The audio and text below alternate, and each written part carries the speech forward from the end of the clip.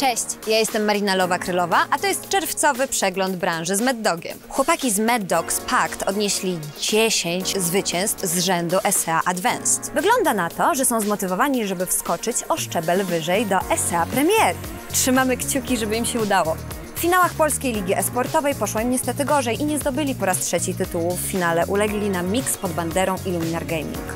To był pierwszy lanowy turniej po półtorarocznej covidowej przerwie, więc myślę, że możemy to wybaczyć, nie? Później Sobol aż usiadł na ławce, także to musiała być mega bolesna porażka dla nich.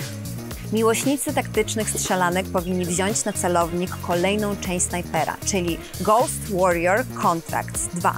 W grze wcielamy się oczywiście w zabójczego strzelca wyborowego. Sequel oferuje kampanię fabularną z misjami na pięciu olbrzymich interaktywnych mapach piaskownicach.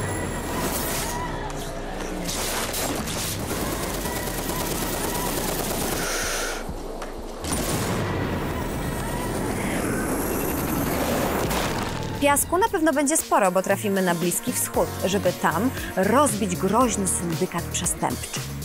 Misje możemy kończyć na różne sposoby, na przykład najpierw polatać dronem, aby zrobić rozeznanie w terenie, potem przedrzeć się do punktu widokowego i w końcu zlikwidować cel, nawet w odległości większej niż 1000 metrów.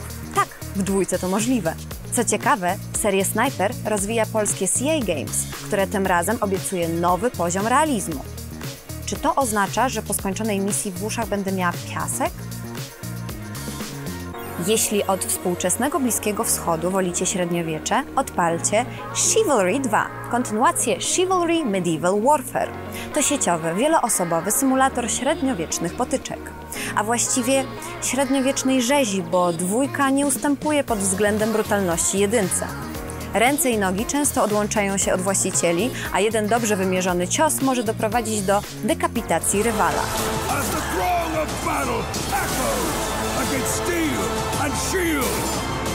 and we cry out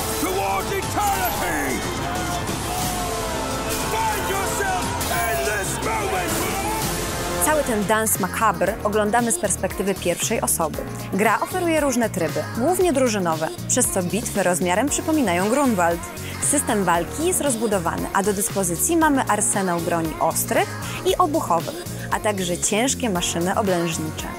E, Ja to z miłą chęcią obejrzę jakiegoś streamera o mocnych nerwach, e, który będzie grał w tę grę, bo e, jestem za dużym mazgajem, żeby grać w takie przemocowe gierki. A teraz legendarny Final Fantasy VII Remake Integrate. O, to, to, to, to, to, to. To edycja z poprawioną grafiką oraz fabularnym dodatkiem, dostępna na PS5 w wersji z polskimi napisami. Edycja na next-genową konsolę Sony oferuje lepszej jakości tekstury, mgłę i oświetlenie. I dwa tryby graficzne do wyboru. Jeden z 4K i drugi w 60 FPS-ach. Twórcy dodali też łatwy poziom trudności i tryb fotograficzny. Nowy epizod fabularny pozwoli pokierować ulubienicą fanów oryginału Yuffie. Just hit me with it. Gonna drop plate number seven. They're gonna do what? That was Scarlet, director of advanced weaponry. It was one of her machines that killed Melfi. Allow me to present the latest innovation in Shinra battle armor. What the? This will be a memory to cherish for the rest of your lives. Gracze, którzy już mają Final Fantasy VII Remake, mogą go bezpłatnie aktualizować do wersji na PS5, nie wliczając wersji z PS Plus. Czyli do wersji z poprawioną grafiką dodatek będą musieli dokupić. I kolejna gra dostępna wyłącznie na tę platformę PlayStation i tylko na jej piątą generację. Ratchet and Clank Rift Apart.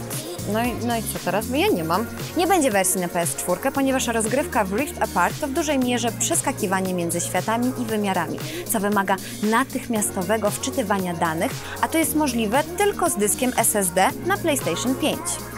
No cóż, no taki live.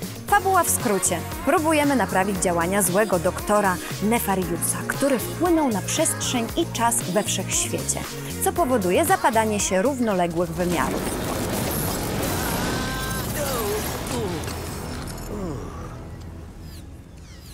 Ratchet. We are too late. Ratchet? Who? Kierujemy nie tylko tytułowymi, znanymi fanom serii bohaterami, ale też żeńską przedstawicielką Lombaxów obdarzoną bionicznym ramieniem. Gameplay to pokonywanie kolejnych planż, korzystanie ze zdolności bohaterów, strzelanie do wrogów, także z czterech nowych rodzajów broni i walka z nimi wręcz, kolekcjonowanie zasobów i ulepszanie arsenału. W trakcie gry zwiedzimy całkowicie nowe planety, jak i alternatywne wersje ciał niebieskich z poprzednich gier. Wszystko to, jak zapowiada Sony, bez ekranów ładowania. Gra jest dostępna z polskim dubbingiem i napisami. Nic tylko grać, kupić PS5 i grać. A na zakończenie coś na Switcha. Jej! Najsłynniejszy na świecie hydraulik w wersji sportowo-klubowej z kijem do golfa, czyli Mario Golf Super Rush. Założenie Nintendo jest proste: zrobić arkadową wersję golfa i trafić w gusta szerokiej grupy graczy. Super Rush nadaje się do grania z rodziną, ze znajomymi albo solo.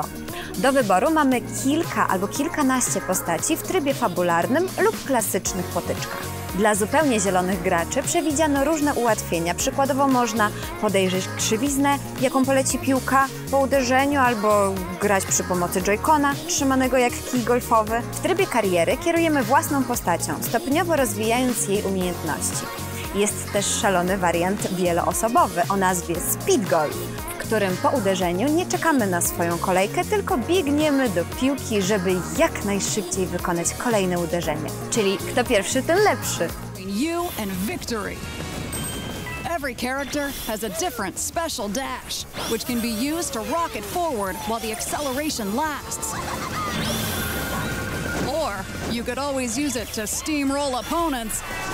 Na dziś to wszystko. Dajcie znać w komentarzach, jakie macie plany na wakacje. Dajcie suba, kliknijcie w dzwoneczek, żeby nic Was nie ominęło i wpadnijcie na meddogowego Face'a oraz Insta. Obejrzyjcie relacje z PLF, w której też brałam udział. Ostatnio dużo się dzieje ciekawych rzeczy, dlatego serdecznie Wam je polecam. Mam nadzieję, że widzimy się niebawem. Buziaki. Mrs. Lowa Lowa.